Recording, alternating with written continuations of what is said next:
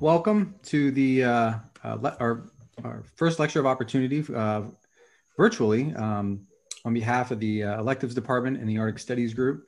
Uh, we want to welcome you and, and, thank you for taking the time uh, out of your busy schedules to, to join us here here this afternoon or, or for from wherever you are.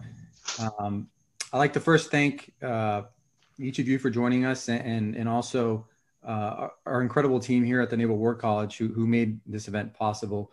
Uh, our electives department, uh, our audio vi- visual team, our public affairs office, our events department. Uh, so thank, thanks to each and every one of you for, for making this possible. Um, this, this afternoon's lecture will, uh, we, we're so fortunate to uh, be joined by Dr. Anne-Marie Brady, who will discuss China's military interest in the Arctic. she'll speak for about 30 to 40 minutes and then we'll roll right into discussion uh, for about 30 minutes 30 to 40 minutes. Um, so i you know i'll ask that um, right now just as a reminder to to um, mute your your mics uh, if you can. And um, and during the and, and if you have any questions during the uh, question and answer period we'll, we'll get to those. Um, but if you can input those in the chat function uh, of your Zoom, uh, that'd be that'd be great. And then we'll uh, compile all those questions at the end, and we'll go ahead and pose those. I'll go ahead and pose those questions uh, to Dr. Brady, uh, so so we can have a discussion. Uh, Dr. Brady, as, as, many of you know, she's a specialist in, in Chinese politics, in polar politics, New Zealand politics, New Zealand foreign policy. She's she's fluent in Chinese Mandarin. she's the founder and, and executive director for the Polar Journal. Uh, she has published uh, 10 books and over 40 scholarly articles, including uh, her, her 2017 book uh, on China as a, polar, uh, polar great power, uh, which is the basis of her talk today. and coming live all the way from New Zealand, which is 16 hours difference, time difference, is Dr. Anne-Marie Brady. over to you. Thank you again and look forward to your talk.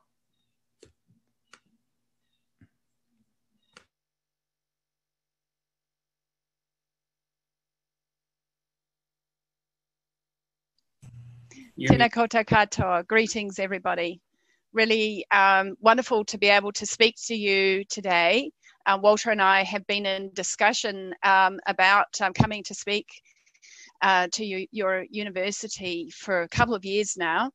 And um, this is um, a great way to, to do so. And I, and I hope in future I'll have a chance to come and um, meet more of you in person because I think we can I, th- I, think you know there's only so there's I, I can give a talk but there's there's a lot more can be drawn out from the questions and answers. So I am going to um, try and meet the huge challenge of so summarizing some of the findings in my book uh, China as a Polar Great Power which came out in 2017 um, published by Cambridge University Press and the Woodrow Wilson Centre which I'm a, I'm a global fellow with them and I um, wrote up the book when I was there and actually, while I was there, I pointed out to the Wilson Centre that they were doing a whole lot of Arctic and Antarctic activities and they should be ahead of everybody and um, set up what I suggested called the Polar Initiative. And they have indeed done that. And I see they're doing a lot of, um, they are in fact doing a lot of groundbreaking work in the US and raising issues about the importance of the polar regions for US um, security as well as the security interests of other countries.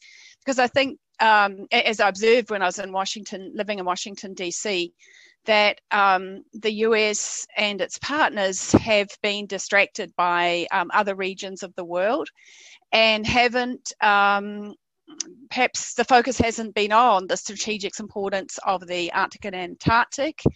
Or perhaps there was just thought that you know it, it, was done and dusted, and the Antarctic Treaty had the the Antarctic region had been an area where there was a lot of um, uh, diplomatic engagement in the 1980s because of the CRAMRA negotiations. That was the uh, minerals, uh, a, a, treaty that would have permitted um, minerals exploitation that was passed but then not ratified, and then the environmental protocol was passed.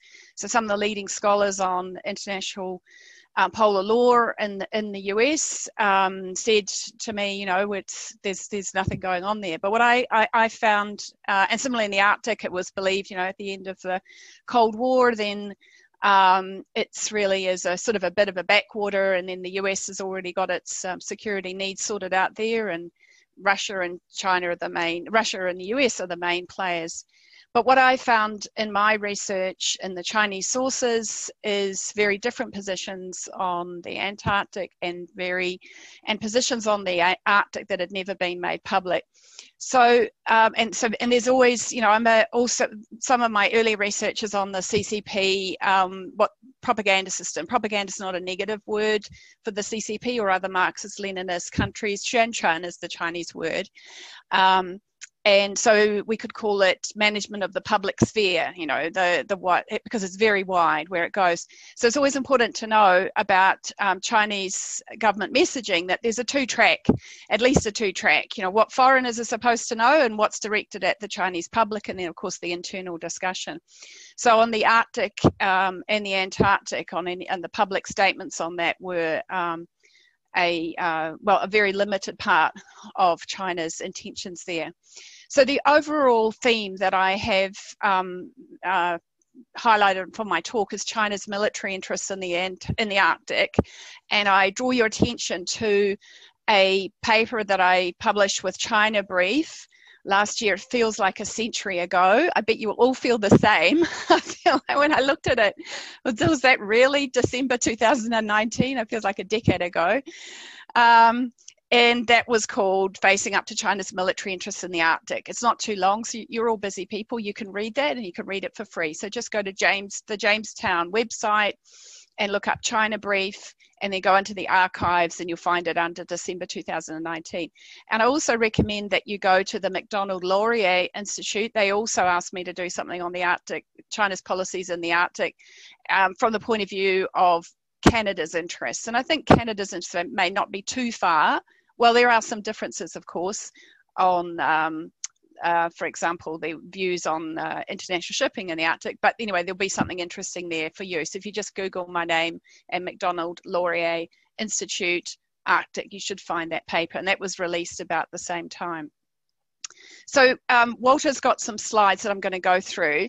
So what I'll do is I'll run through um, the sort of background I think that's important to understand China's intentions in the Arctic and as well as the Antarctic, because I know that many of you who might be listening in today, you're Arctic specialists and you think, well, that's what I'm interested in.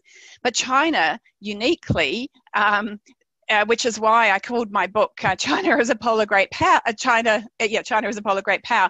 They coined this term "polar great power," and it's part of their um, their level of ambition that they use this term because there of course the actual polar great power is the us and russia because and, and you've got different capacities there. I mean russia's well you know there's different measures of power.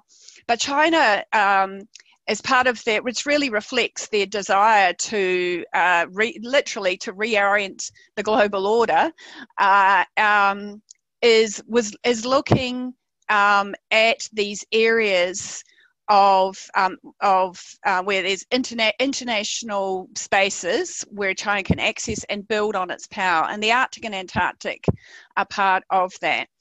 And they studied. Uh, Chinese scholars were given the task of studying various Arctic and Antarctic powers, and looking at their capacities, looking at their policies, the history, what worked for them, or, or, you know, a whole lot of due diligence, and learning from that and adapting that.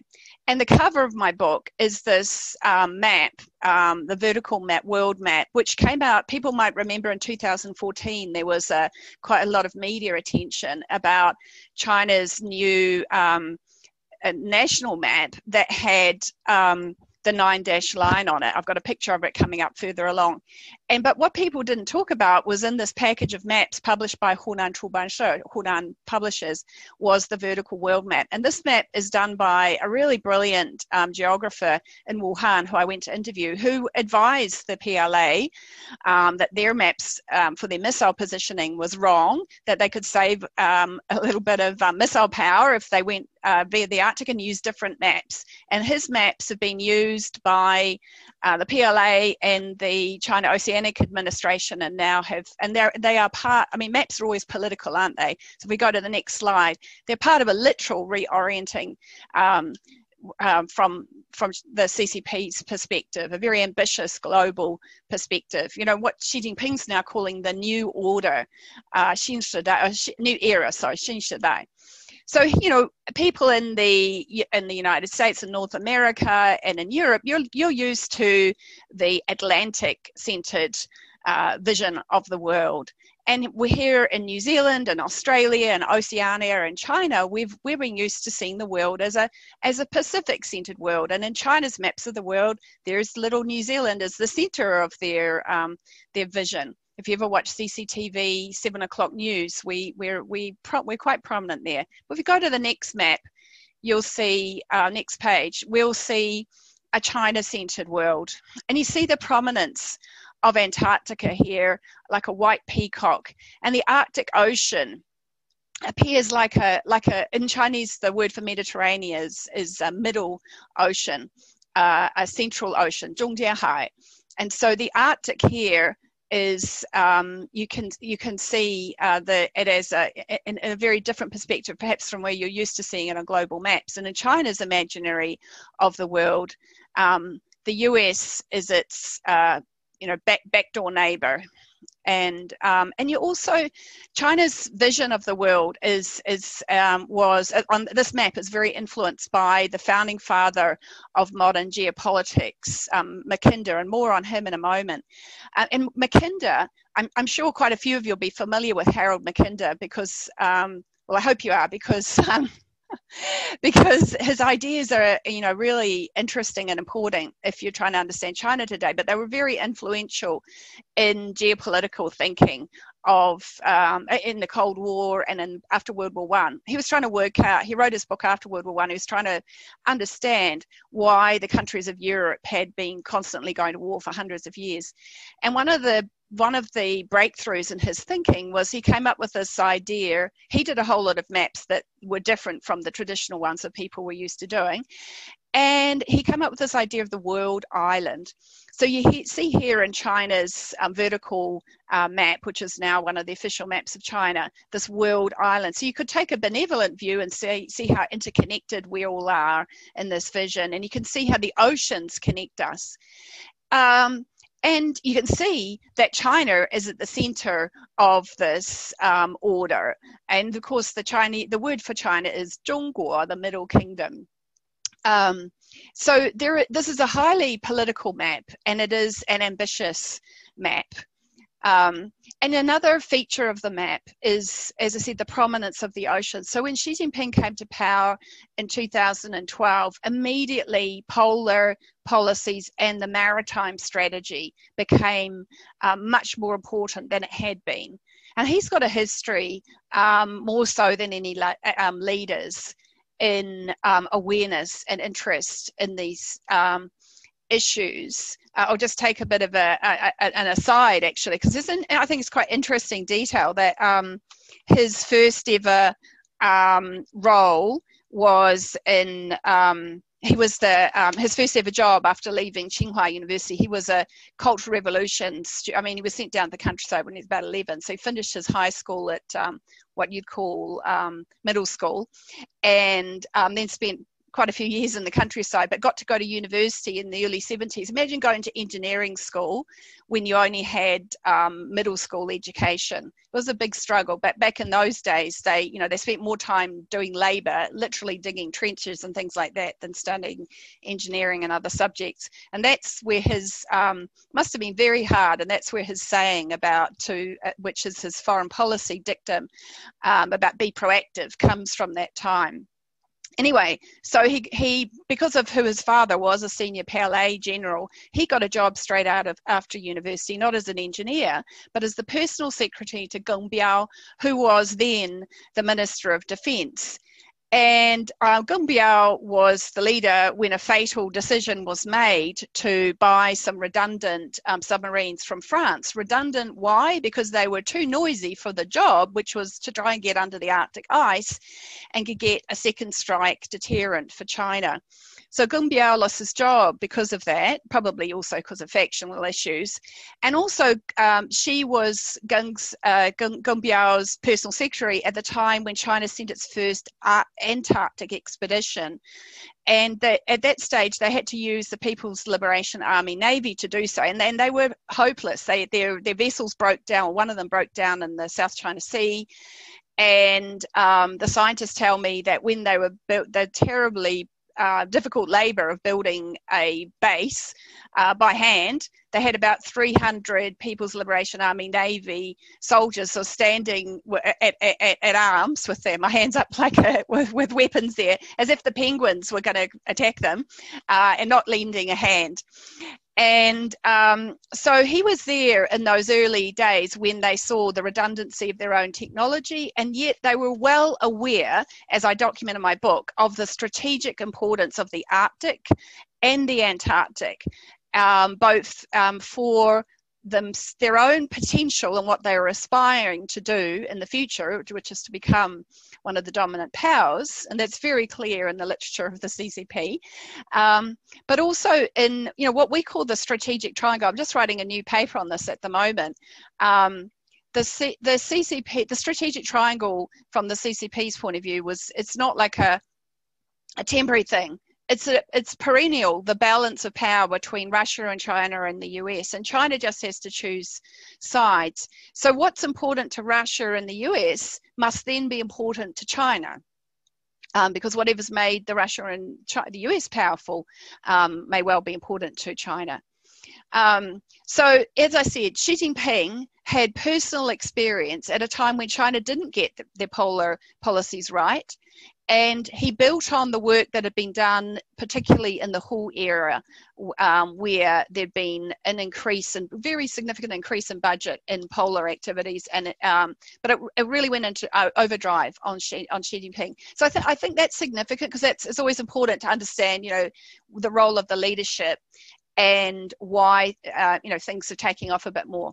So further on to the next slide, I want to talk to you a little bit of the framing that is behind China's thinking too. So the map, there's on the right, there's that picture of uh, the nine dash line uh, map, the Chinese map of China with the nine dash line that came out of the package with the um, that new vertical map. But the one on the left here is uh, one of the rare visual images of the island chains, all three of the island chains. Now, people in the media, um, when they talk about the island chains these days, they tend to uh, uh lump them with China. But of course, the strategy, the, the mindset uh, of it, the um, comes from the United States and the, the, the era of John Foster Dulles. And the first and second island chains are literal, but the third island chain, chain, chain is metaphorical, going from the Aleutians to Hawaii all the way down to New Zealand and as far as Antarctica. And you know, sometimes there's a, people talk about the advantages of authoritarianism. You know, if they want to say all cars off the street of Beijing before the APEC summit, they can do it, um, whereas a democracy needs to negotiate that. Um, but there's disadvantages in authoritarian societies too. It's pretty hard to change. It's harder than it is, even harder than it is for our countries, to change course on a strategy and change course on a mindset. So after the Mao era, um, there was a big rethink on China's maritime strategy and a real strong criticism of it because it had been set very much by the Soviet view. And the Soviet v- believed that if we go to the next slide, this guy, who you should all be familiar with, Alfred Mahan, he was um, an, an, imperialist and his thinking on the um, on, on maritime uh, doctrine uh, was well not useful for um, for China or or for Russia. But in the early 80s, um, China, even when they didn't have the capacity to do anything about it, was looking to Mahan as the way forward and rejecting the Soviet naval doctrine, which had in, had said that China should focus on its land-based defence and and when it comes to maritime, merely uh, have enough resources to protect its uh, own near seas. So, of course, Alfred Mahan, famously, or Mahn, I, am happy to be corrected if I'm mispronouncing him according to the way you all do in the US. Um, he looked he compared the rise and and the contested power between the, the united kingdom or great britain and france and he looked he, he wrote about well what does a rising power need to do if they want to be become dominant in, in the international system and here are some of the um, key points from um, alfred mahan's thinking um, and china um, is um, doing every single one of them to to the nth degree. So going back to what I was saying about the the um, the island chains is that um, I, I, wonder now, and I'll be, you know, military specialists um, will be able to debate this.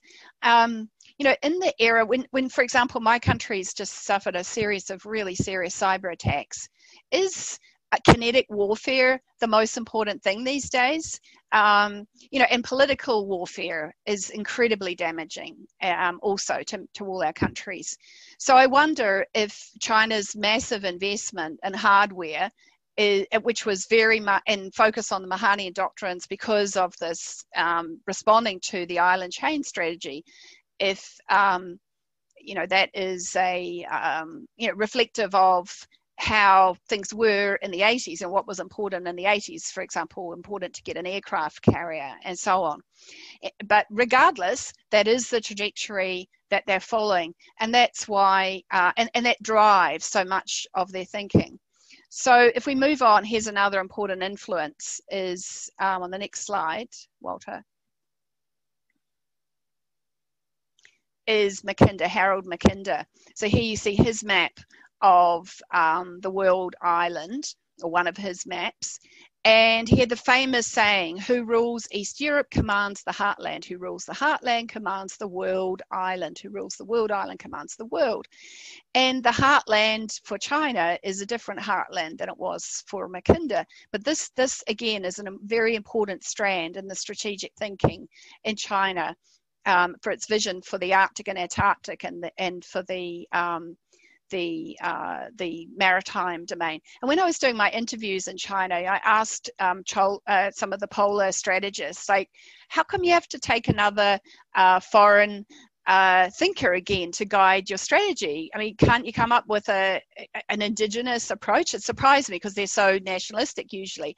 And they said to me, "Zio Mahan, there's only Mahan. You know, Mahan is the um, he's his his uh, analysis is was was really important and and, and for for them um, and for and McKin- add, add on to that Mackinder and of course Dulles and the and or the thinkers behind Dulles of the island chain. So if we keep going, please, onto the next slide.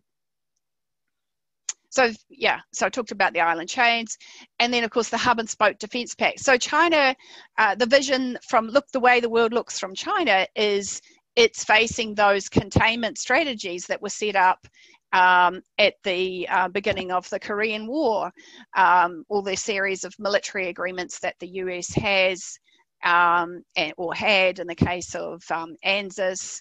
And then, um, you know, that's only been reinforced by um, moves to more alignment uh, between in the Indo-Pacific Command and also from Dulles came this idea of peaceful evolution, which probably most people in the West have forgotten about, but which is used as the idea that more exposure, that the, one of the ways in which the, the Western democracies could, could undermine co- the communist state was to engage as much as possible and expose the citizenry, citizenry to um, Western liberal ideas, for example, and culture, and that would steadily change and transform those societies.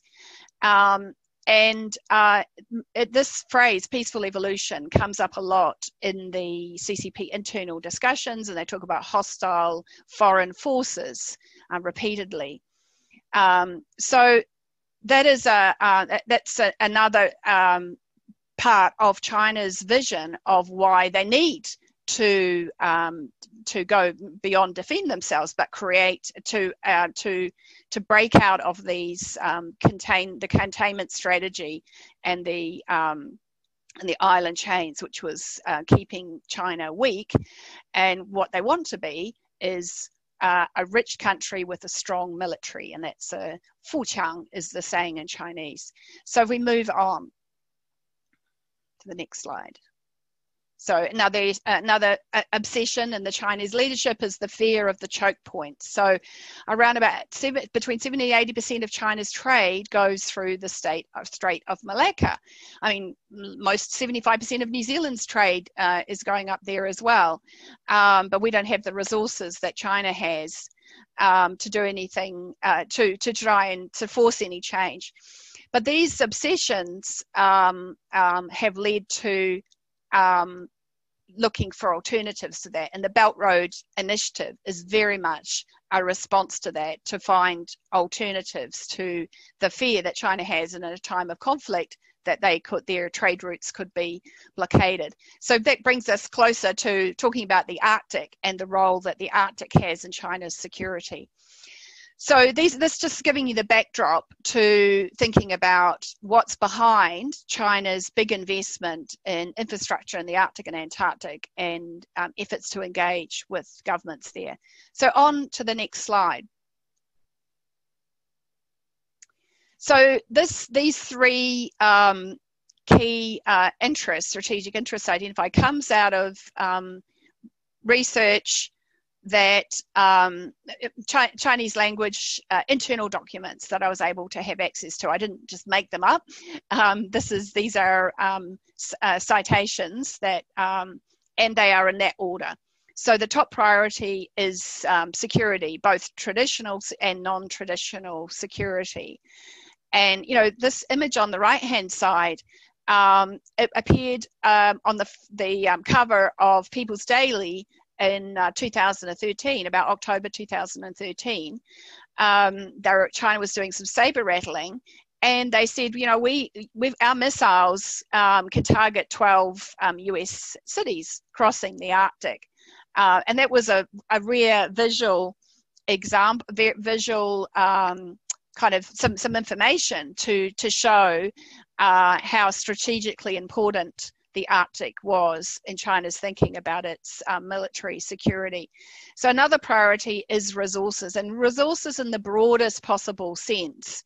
So, China um, from 2014 to 2016 had a big study of social scientists and scientists involved looking at what are the resources in the Arctic and Antarctic and what is the governance structure. So, basically, what's there and how can we access it?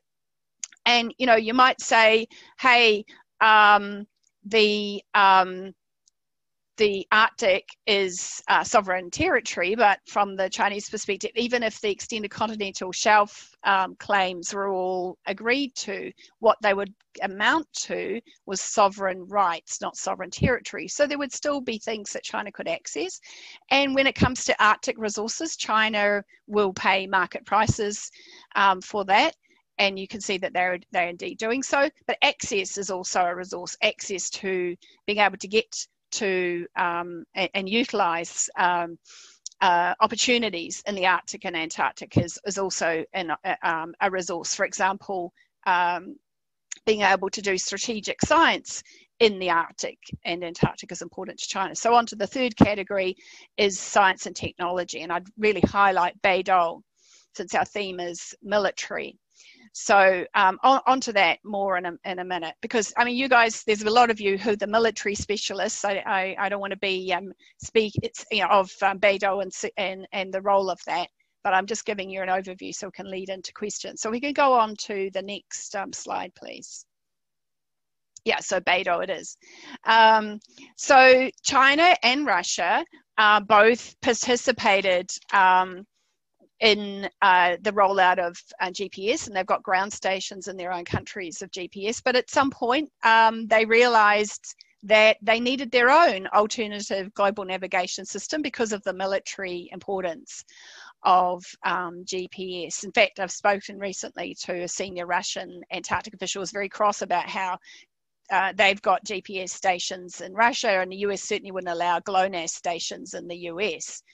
And so China's ambitious foreign policy um, in the Xi era is uh, very much connected to the the, the um, expansion of Beidou because, and it's connected into um, the Belt and Road Initiative too. There's a so-called digital Silk Road.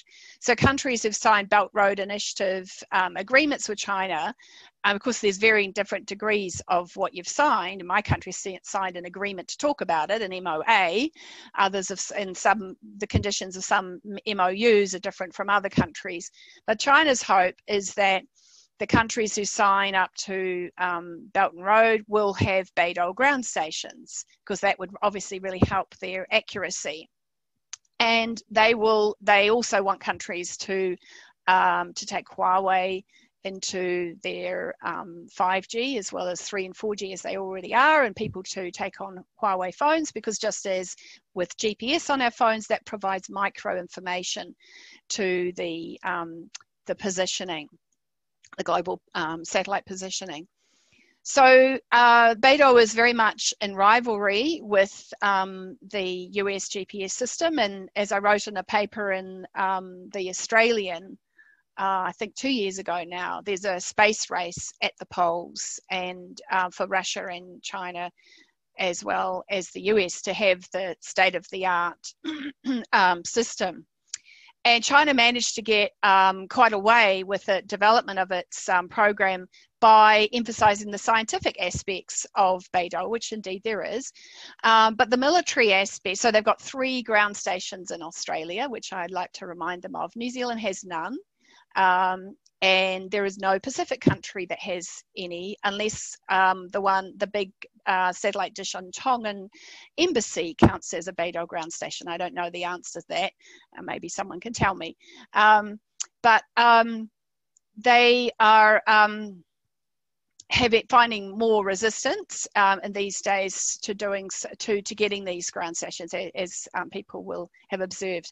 So that's a really important part to china's interests in the arctic and antarctic. They have ground stations in svalbard as they're allowed to um, because they are used for scientific purposes. But as i was about to say the military aspect to it was revealed in 2014 you know publicly revealed when um, PLA satellites were used to help rescue a Russian icebreaker that had been hired by a Australian scientific team who got stuck on the ice in Antarctica. And that was the first use of this um, satellite system for China, and it was coordinated by the PLA. And the PLA is a very important actor, and I would say from my interviews, the actually the lead actor currently in China's expanding um, polar policies and, and activities in the Arctic and Antarctic. I'm nearly running out of time on my own um, schedule. So if we can go to the next um, slide, and then I'm going to try and um, try and give you time for the questions that I think will be really important. I've got lots of detail, but uh, hopefully they'll be drawn out in the question. So the nuclear deterrence is very important to China. Obviously, they've been work. They don't have a large amount of missiles compared to the US and Russia. You will have in around 2,500, 2,700 uh, uh, nuclear missiles. China's is about 230 or so um, uh, from from memory anyway. Small number. Um, they say they won't, their policy is not first strike, but they want a second strike. And to have, and then, so it was early on identified for China the value of having an Arctic, uh, a submarine stationed in the Arctic, hidden under the ice. And like I said, they've been, you know, they actually, as well before uh, Xi Jinping and uh, his time with Geng Biao, that this, um, there's been this agenda. Um, China has um, actually, ever since the USS Skate um, surfaced above the Arctic ice, uh, China, uh, Mao Zedong said to Khrushchev, "We want one of those," and and the Soviets said, "Well, you know, we've got you covered." And that was sort of you add that to the list of the the things that the Soviets didn't do right for the CCP, because the Soviet Union wouldn't share its nuclear submarine technology with them. So China, from that, according to the history of um, submarine uh, making in China, they started trying their own rudimentarily um, submarine program uh, starting with wooden submarines apparently. And then I said they bought some redundant, uh, very expensive redundant ones, um, what became in the early 80s, which became the Xia class submarines. And um, and the purpose, specific goal, was to combat US maritime power. And so they've been steadily building up their program. The latest news, and about a week ago, was that China and Russia are collaborating on making a, um, a submarine which will be suitable for Arctic conditions. And that's a really, really interesting development to me because China and Russia's uh, interests in the Arctic don't necessarily align.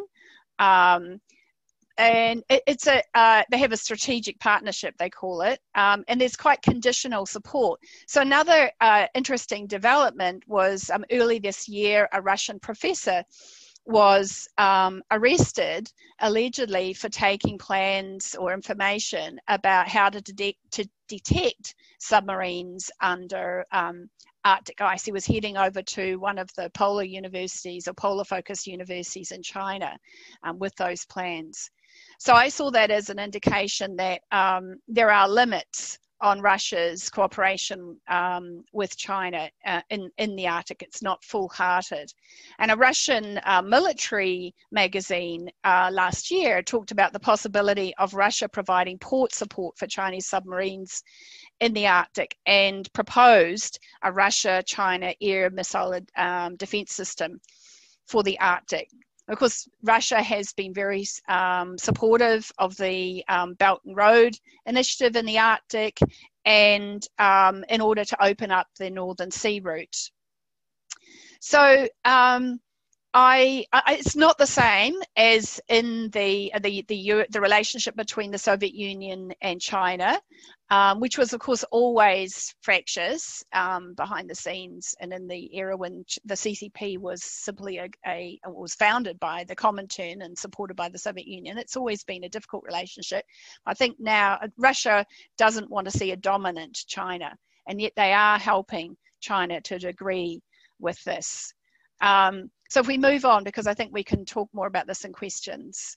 So China's been very active in um, trying to get in on the at the table of every Arctic and Antarctic connected um, governance body, and they now do have what they call Huayuquan, the right to speak on Arctic affairs, which they didn't when they first applied to be a member of the or a observer, sorry, of the Arctic Council in 2009. But now, because of this China Inc. approach to engaging in the Arctic, on, on engaging on multiple platforms, multiple uh, societal, cultural, tourist, you name it, and also bilaterally with the different um, Arctic states. China is an accepted a stakeholder in Arctic affairs. Of course, it started about 10 years ago with using this phrase uh, that they were a near Arctic state. Um, which is um, well, it's obviously very controversial. Depends on your your um, your geographic perspective on that. But that's all part of China um, making sure that it gets a seat at the table. They want to be part of any decision making, and they want to be an acknowledged stakeholder in the Arctic. And and they are indeed these days. They've succeeded in that goal. So on to the next slide. So they've uh, the budget increases, uh, there have been very significant budget increases into Arctic and Antarctic spending, and for a while it seemed limitless. And you know, people that I was in, interviewing in China just they just seemed whatever they wanted they could they could get out of the art the uh, the treasury on on capacity expansion for uh, new icebreakers, new bases, uh, you name it. And there on the right there, um, you can just see the uh, right of the screen. You can see China's um, ice station in the Arctic. They they copied the so the Russians and the US on doing that. And on the left there is China's um, very large base at um, Svalbard. And uh, China has um, a um, an extensive icebreaker program, a development program underway. This one on the, the icebreaker you can see on the left was a Ukrainian cargo uh, ice uh, breaking vessel.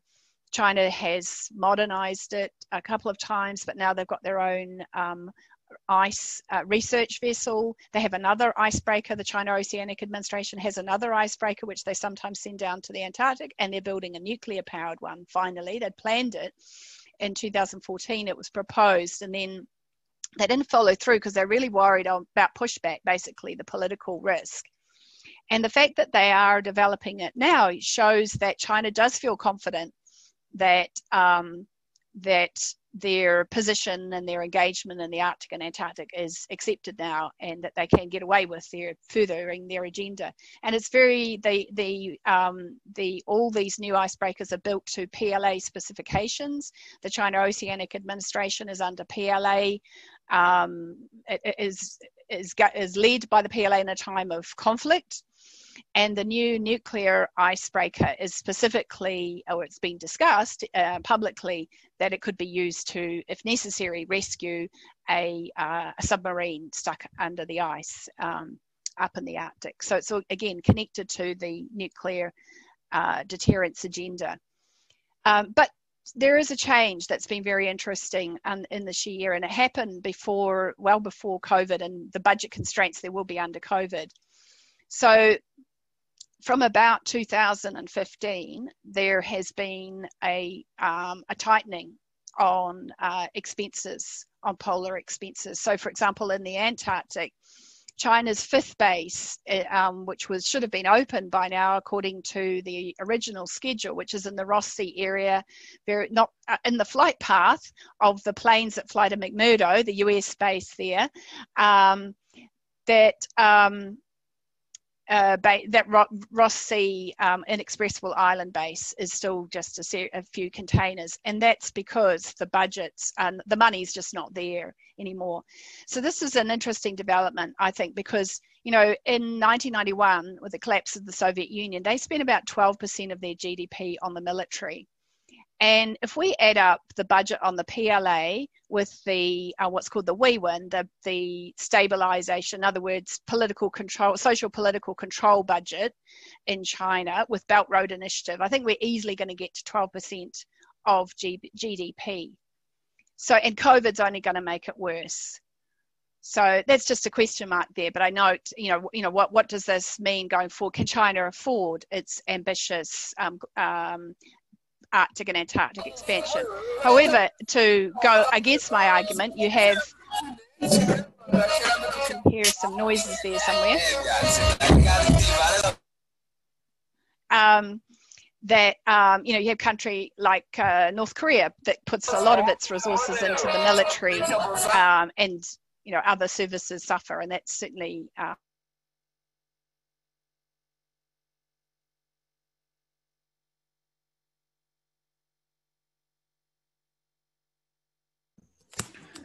Dr. Brady, if you can go ahead and unmute yourself, we had to unmute. Yep. Had to mute Thank you.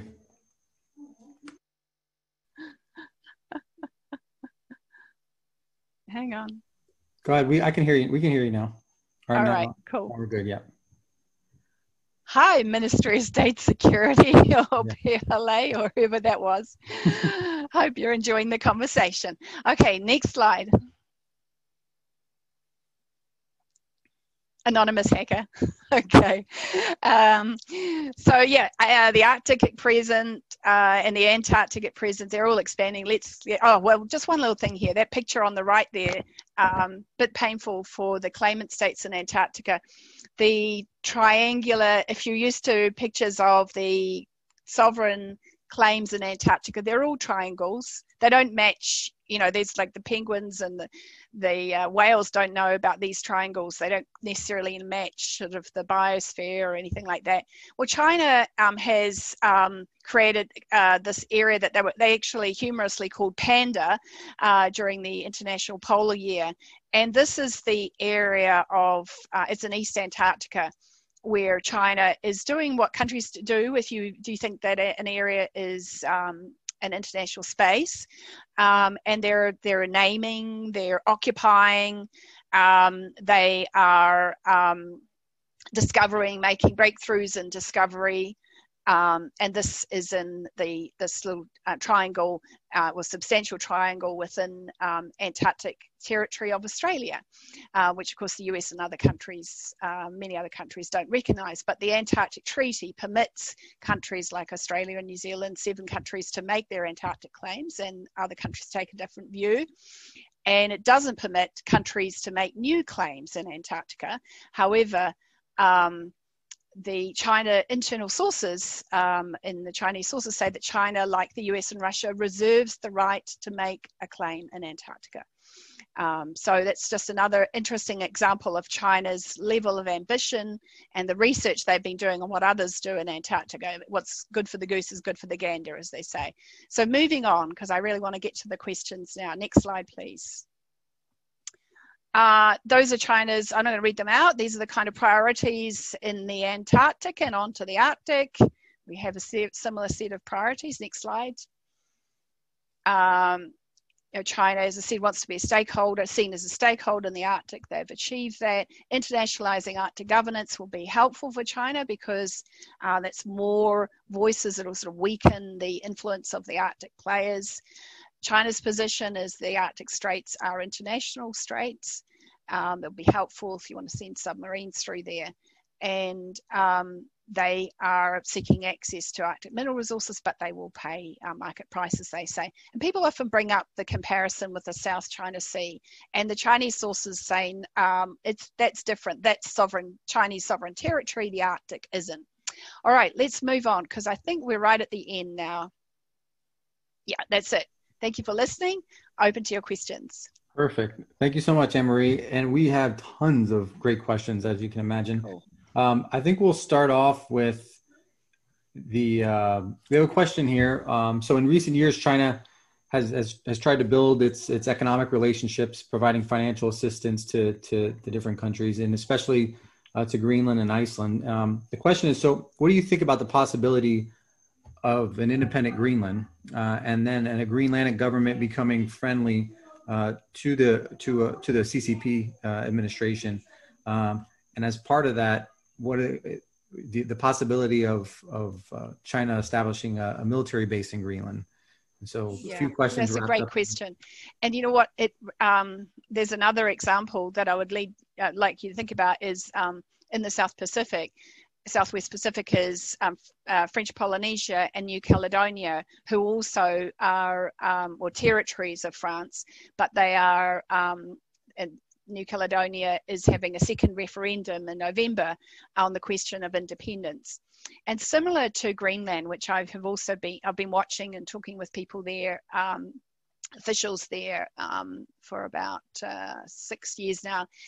You know, they, and, and with the, the Danish um, government officials, um, this, it's quite a parallel situation there. So, um, the French and the Danes, if the if the the Greenlanders and the people in French Polynesia, New Caledonia, if they want independence and that's what the collective want, then um, okay, we will work with that.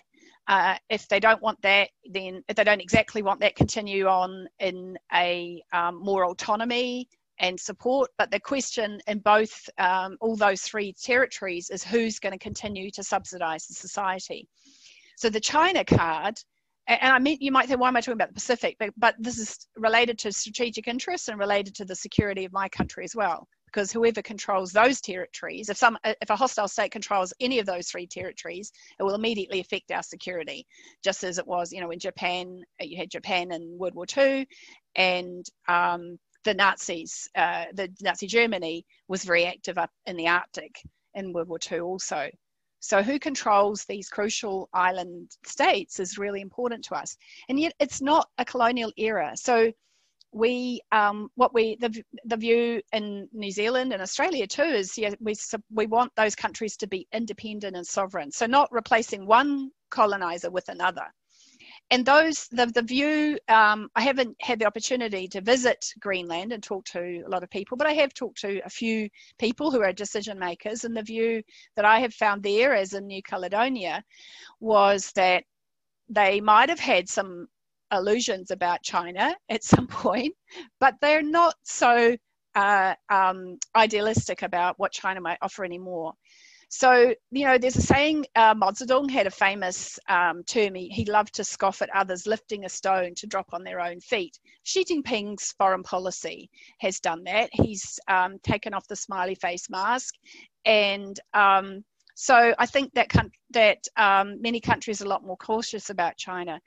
And so I think that um, that Greenland, if it was in, became a sovereign state or if it gets more autonomy, will be trying to have a where it can have a constructive relationship with China and not turn into a neo-colonial state. And I, so I think that what the mentality of that states like the US and my country, even though we're different size, that we all need to have with these emerging independent states is support them in their independence, support them in their sovereignty, and find the ways that we can constructively um, yeah be part be a part of that and not not try and tell them what to do because that'll push them in another direction but just be supportive and constructive of what their collective decision as a society is for their future thank you and uh, the, the russia-china relationships uh, has has attracted lots of uh, comments and questions uh,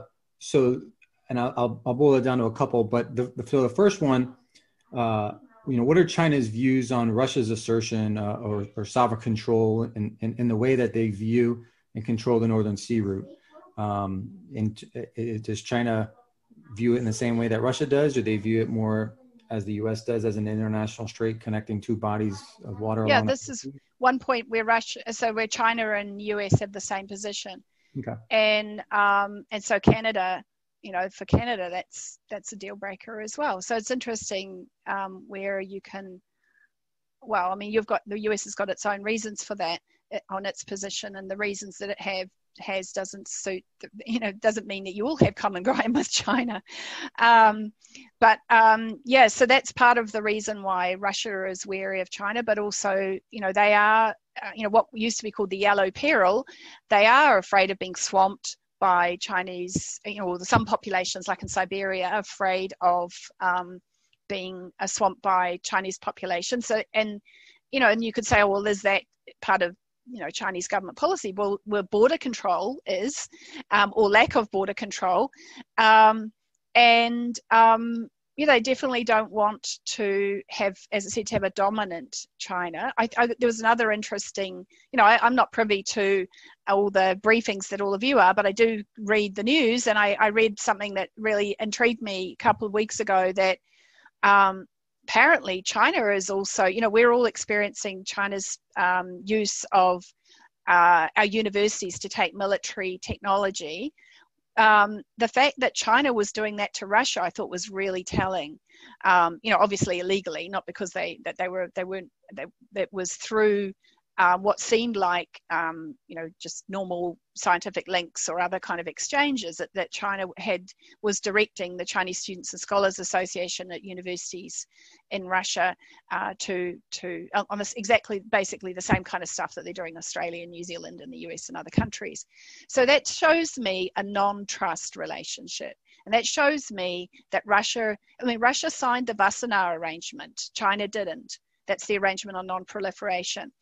And um, so, for example, apparently Russia was very annoyed that China turned the Ukraine, um, uh, well, what was a, a, Soviet aircraft carrier. Actually, they claimed that they were buying it to make a casino, and then they turned it into the Liaoning and so I, I reflected on that again as like so that implies well of course that that that um, even though it was Ukraine it had formerly been Soviet Union um, ice, uh, nuclear um, sorry uh, aircraft carrier that there are I know it's a very unpopular thing to say, but there there is some little bit of common ground there with Russia and the US and other states about your concerns on China and the limits on the relations with China. However, of course, the Putin government is, um, you know, really very hard to be at least publicly be seen to cooperate with them at the moment. But you do have some of the same strategic concerns about China, I think. Thank you. Yeah, and and and so I would I would characterize uh, a few of these questions under kind of an economic, a political, and military lens, uh, looking at the China-Russia relationship. And from a political perspective, uh, and this question was actually raised earlier in our Arctic security course and, and raised again here. But to what extent might China and Russia kind of come together on the political front to to maybe develop an alternative framework or form to the Arctic Council?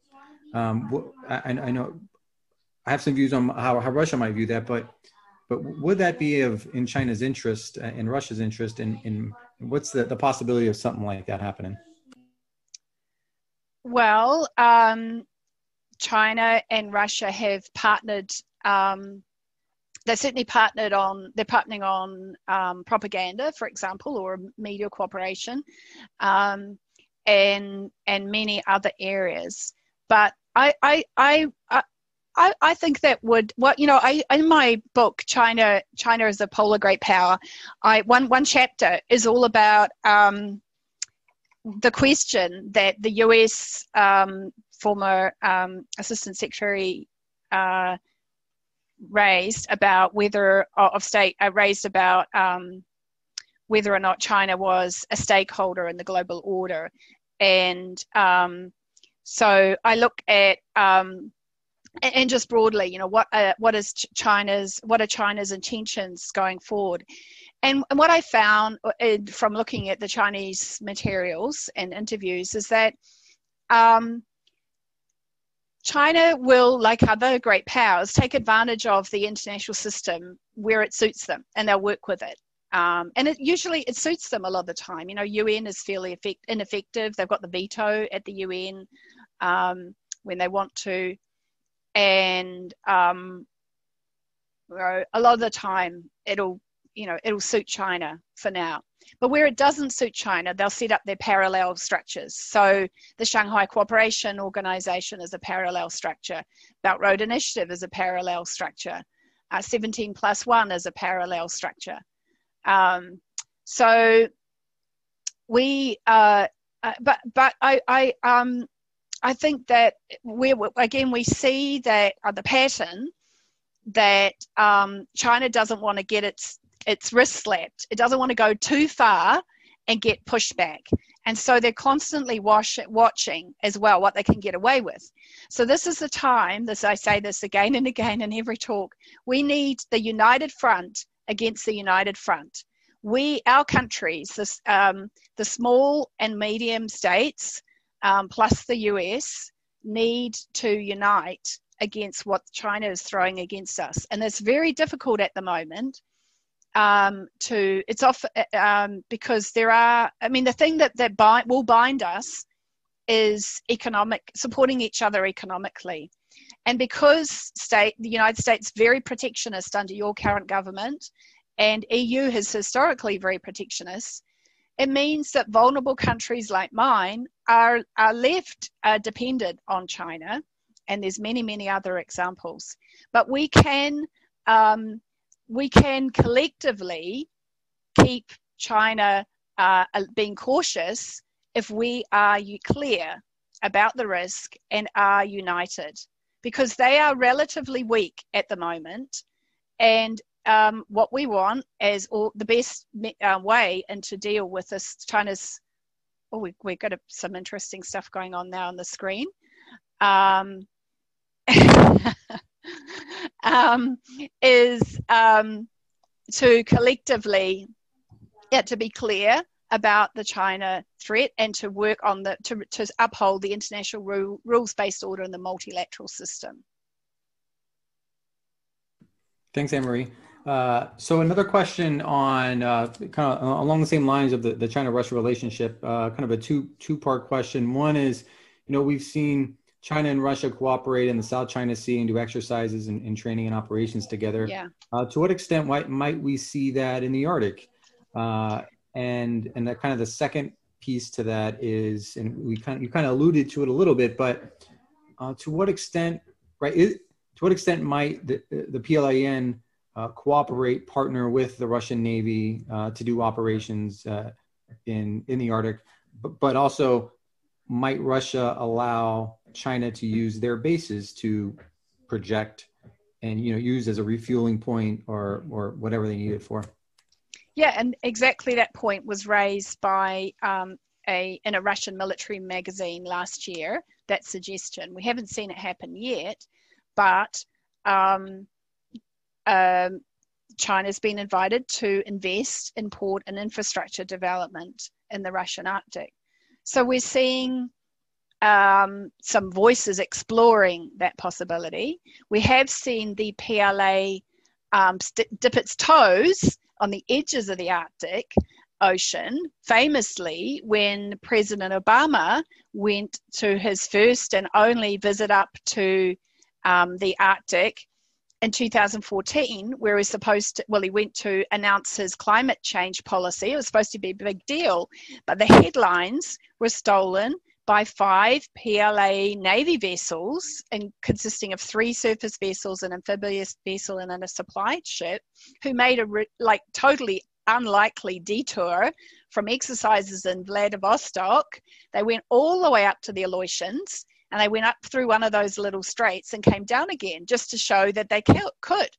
And um, a month later, um, they were on the other side of the Arctic Ocean doing goodwill visits to Denmark, Finland, and Sweden. And at the time, people speculated that they were going to come home across the Arctic. They didn't, of course, because they couldn't. They don't actually have the capacity to do so as yet.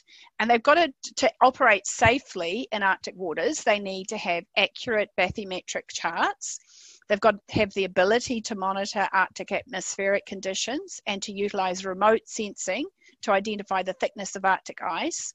They've got to have submarine personnel who are experienced in under ice operations. They've got to have the submarines capable of navigating uh, various choke points that there are, like up in the Bering Sea, and get there safely and secretly.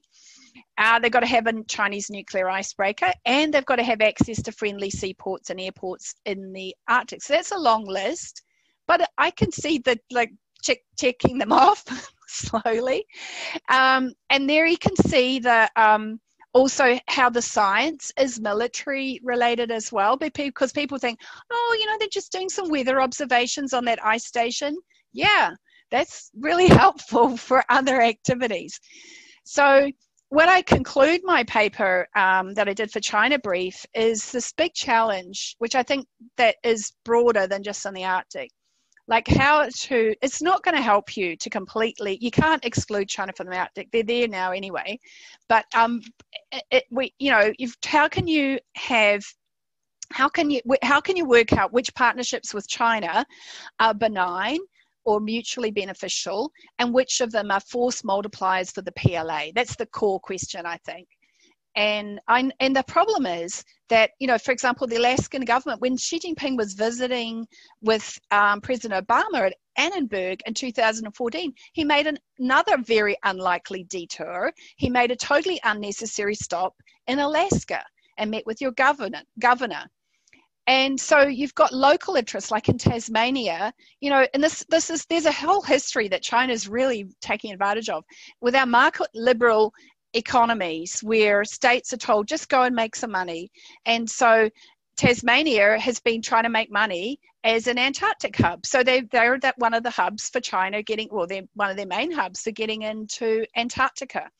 And, you know, Alaska will be trying, is trying to make money out of their, um, their proximity to the Arctic so, how do we get the balance right between economic security and particularly economic security of our regions, who often, ha- like the far regions, like in the high north in the US or in Canada, who have economic difficulties anyway. How do we get the balance right of economic security with national security? And if we're going to tell them, no, you can't partner with China, you can't do all the stuff that they think is benign, but the US government can see the bigger picture, well, what are you going to do to compensate them from the loss of economic opportunities? So, this is a big question.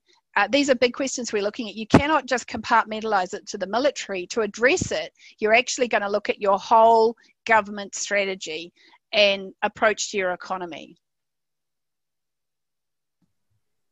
Th- thank you. And and so we have uh, a few more questions. The um, you know, Secretary Pompeo made headlines uh, during his speech at the Arctic Council, uh, where he called out Russia and China.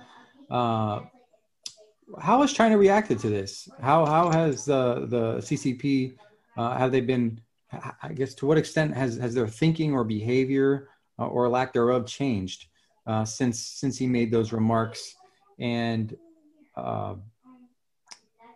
and I and I guess the second part question to this is uh, you know, what can the U.S. do to engage China without increasing uh, the likelihood of uh, of of, uh, of an of an arms race, in the sense that where where, where uh, where the U.S. is doing more from a military perspective and China doing more from, from a military perspective. And so establishing those lines of communication. So the, the first one is really China's reaction to Secretary Pompeo's uh, remarks and how, if at all, has that changed uh, their behavior and thinking? Well, you know, I, it was a little while ago that those statements were made. There was probably a comment in Global Times. That's the tabloid, um, so it's predictable. But um, there wouldn't be any major change to China's strategy. But it's really important the statements were made, and it was very important um, in 2018 that my government, in their strategic defence policy statement, made the first public statement about military activities in Antarctica that weren't logistic ones. You know, military ones that potentially breached the Antarctic Treaty and what it says about what kind of military activities you can do in Antarctica. It is important to talk publicly about these things. Um, and say, you know, what's regard, you know, what the concerns are. Also, uh, Jens Stoltenberg, he also raised concerns about uh, in 2019 uh, about China's increased presence in the in the Arctic. So, yeah, public comments are very, very important, and they will help to um, not just curb China, but they'll also help to inform people um, in our respective countries, and particularly in the um, those who engage in the Arctic and Antarctic and might be engaging with China. We need to educate our population about national security risk at the moment, and and um, be really clear, not alarmist, just be really clear. So um, you know, the more specific the the better I think that about um, what's going on. I, I, you know I was born in uh, the mid mid mid Cold War era baby, and I now know from teaching my students how uh, the difference of my education and theirs. We in our newspapers and and, and you know and, and broadly in our society, we knew a lot about the um, the Eastern Bloc, how it worked, what its policies were, what agenda was, what the risk was. Um, you know, we you know I grew up protesting against uh, nuclear weapons. You know, my my country was really really worried about um, the threat of nuclear war, and so we were quite informed about um, security risks in my generation. And I think people are not really well informed, and and that has a negative impact on our overall security because China's engaging in this China Inc. strategy in Arctic affairs as well as in Antarctic affairs, and, and more broadly than that. So individual citizens can potentially be engaging in activities that are against our national interests. Um, and uh, so, Walter, can you remind me the next part of the question? Yeah, I'll actually I'll I'll, I'll pass on that question because uh, it ties into to probably one of our last questions, and I'll we'll transition here now to uh, basically two questions kind of lumped in together. Uh, one is not is it's really along the themes of of gaining uh, access and influence and, and, gaining a foothold in the region. Uh, so you mentioned science. You know, to what extent uh, does China use science to, to do exactly that, to, to gain a foothold and, and to parlay that into uh, other areas, whether that's economically uh, or along the military front?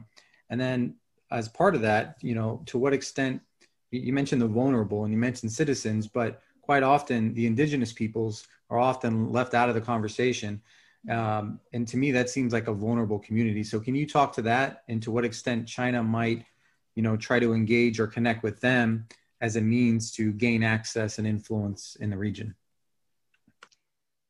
Yeah, the um, so China targets individual Arctic governments and it also targets the indigenous groups in the Arctic. That's a very specific strategy. And um, it's part of um, you know what um, the US would call political warfare or grey zone. It's what the CCP would call United Front work. And um, so that's part of what I'm saying. It's why it's good to have clear messaging from our governments and um, as well as, you know, re- particularly the political leaders, I think, because if um, the media starts, you know, if a media story comes out, people might say, oh, you know, that's some alarmist journalist or that's some alarmist academic. But when our political leaders make um, factual, um, well reasoned statements about matters of concern, then um, that, that's a very clear signal.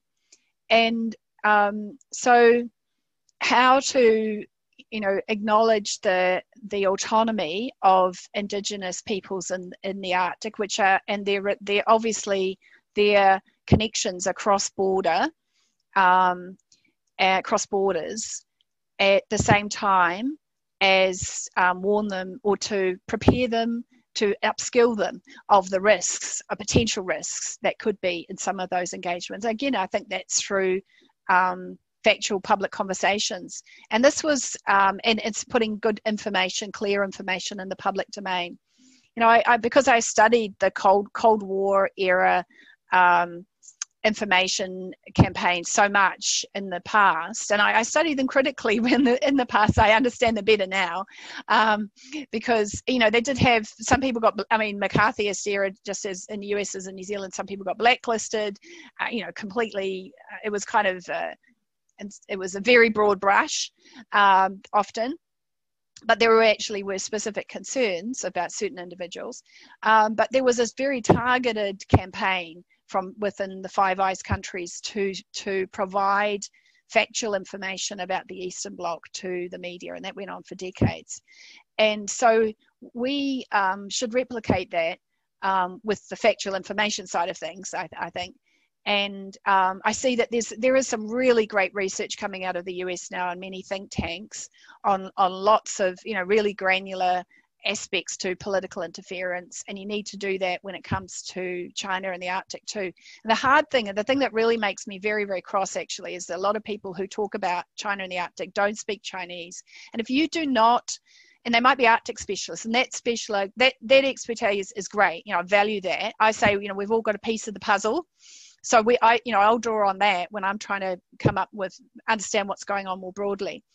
But if you don't if you cannot access the chinese language materials and read what you're not supposed to read what read what's not meant for foreign eyes then you really don't know what's going on in china. You cannot take the white paper on the arctic and other public statements like that as the complete picture and I, China is a pole of great powers based on 10 years of reading Chinese language um, materials and 10 years of interviews as well. I went back many times to China, as well as doing interviews outside China and, and drawing on the secondary studies.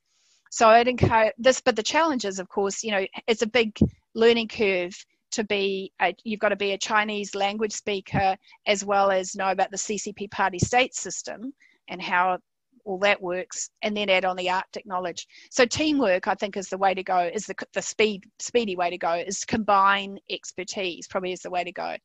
But I have noted quite a few pronouncements by US um, leaders in the last two years on Arctic and Antarctic, well, Antarctic affairs actually, where there's been a few little uh, errors made and um, on little details like whether the Antarctic Treaty ends in 2048 and stuff like that.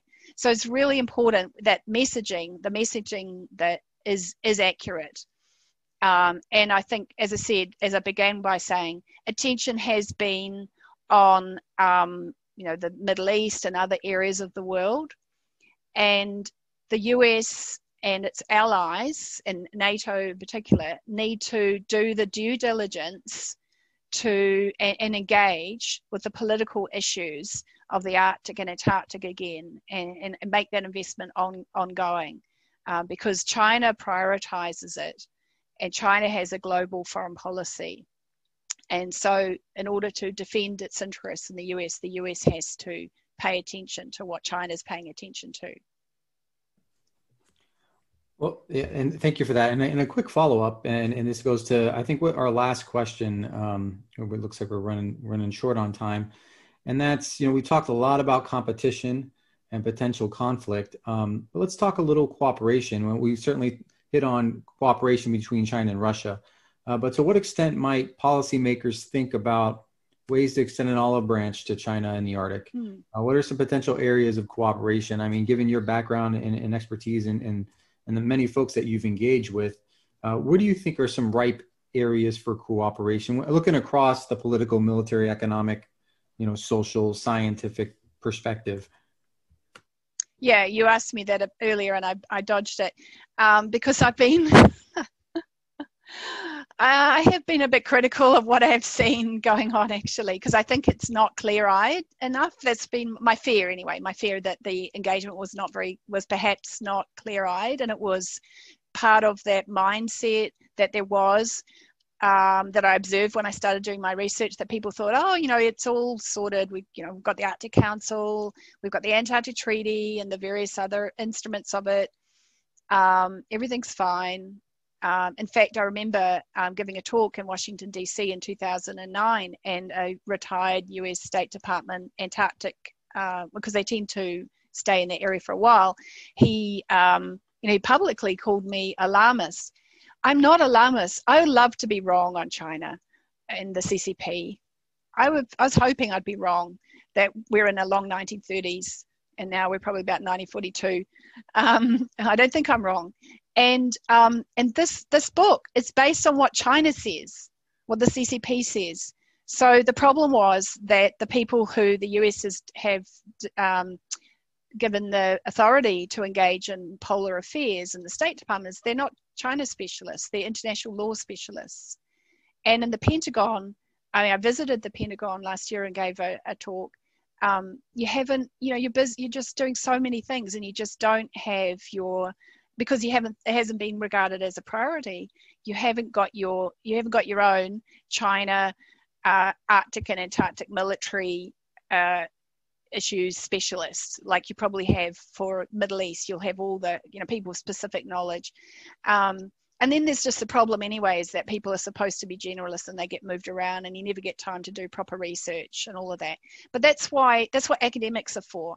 Um, and but then of course you know as i've observed in the us system you know there's no incentive for academics to do this kind of policy relevant research. The political scientists are pushed to do stuff on methods and models and you know quite stuff that's really abstract for governments but you know, academics will go where the money is. So if the if anything can go through in this talk, Walter, encourage some uh, dedicated funding for researchers, academics who do have the time and the expertise, who have got the language skills, the Chinese language skills, and who can partner with an Arctic specialist to make sure they get the details right, um, to do some research um, that will be useful to your government, particularly you know on the military side of things. Because you know, I, I can I, I, I, the, the stuff that I've done is um, not particular to the US interests, and I don't have access to all the information about what the concerns of the US and what the capacity of the US is. So I do really think the US needs to do its own research, but you've got to do eyes wide open research. So to come back to your question about engagement and cooperation,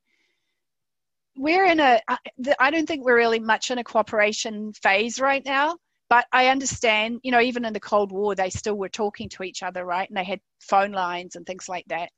So as long as the cooperation is clear-eyed and not naive cooperation, um, I support it. And also, you should always know, of course, that you know China's not a monolith. That um, we've been, you know, polar officials are a lot of the people that, who work on polar policy, for example, they're environmentalists too.